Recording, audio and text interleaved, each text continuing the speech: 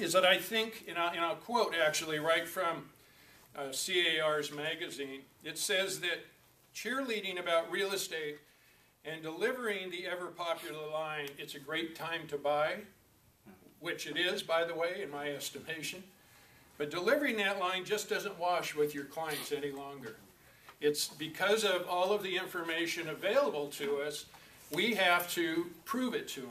We have to talk a different language, if you will, because they're no longer, it's, it's, it's the article says, it's, it's, their answer will be show me. And these days, it does not do well for any agent to go on any appointment unprepared. You have to be prepared. And there are tools available today that didn't exist. RPR, by the way, if you haven't been using it, is a phenomenal tool. Market Metrics is another tool. I know Sal uses it a great deal. Uh, and I'm going to share with you a new uh, Claris program in a second. But it's it, it means being armed with intelligent answers to every question about pricing, sales trends for the neighborhood, city, and county, information on real, re, recent sales, and active listings and so forth. This is the show me, not tell me generation.